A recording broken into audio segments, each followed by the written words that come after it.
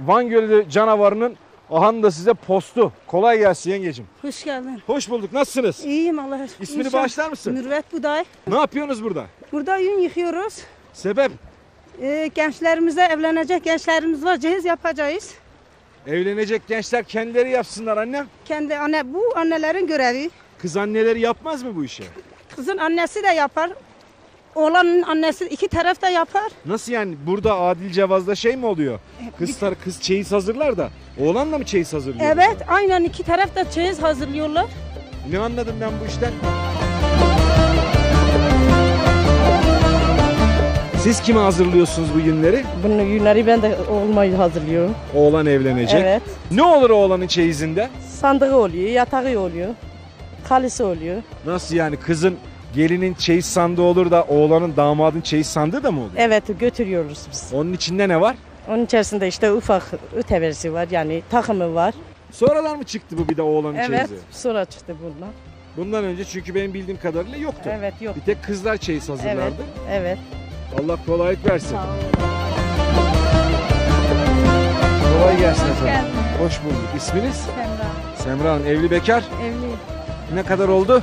4 sene. Hanımefendi. O kaynanam, diğeri de annem.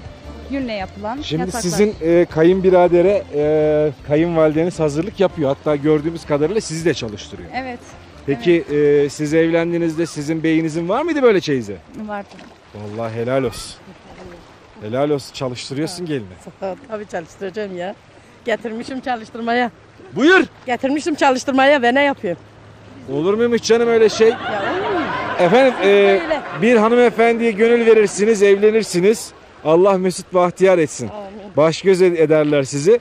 Ama oğlan annesinin yaklaşımı çok açık ve net. Çalışmaya geldi. Çalıştırmayacağım. Niye aldık ki o zaman onu?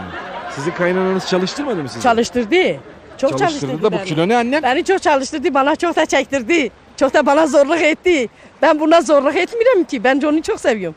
E, kızla oğlan mı görmüş birbirini yoksa siz mi? Ee, kendisi birbirlerini beğenmişler. Bizde bizde bir şey kalmadı ki onların istediği oldu. Biz o şekil verdik. Kimseye biz oradan verecek bir halimiz yok yani. Eskelgin yapmadı dedi ilim olacak.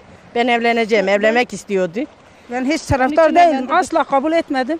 Kızın babası da kız ikisi bir oldular. Beni artık reddediler. Ben de mecbur kaldım. Sesimi kestim. Allah mutlu etsin. Kimisi oğlan çok istiyor. Oğlumuz olsun diye.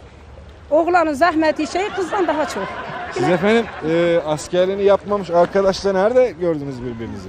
Aynı mahallenin çocuklarıydık sonuçta. Birbirimizi gördük, beğendik. Kader de olmuştu.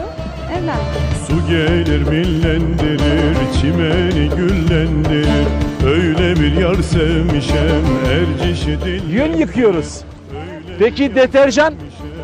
Aha. Etrafı 450 kilometrelik deterjan. yeri Sevdan öldürür beni. Leyla Leyla bir su doldur yavaş yeri Sevdan öldürür beni.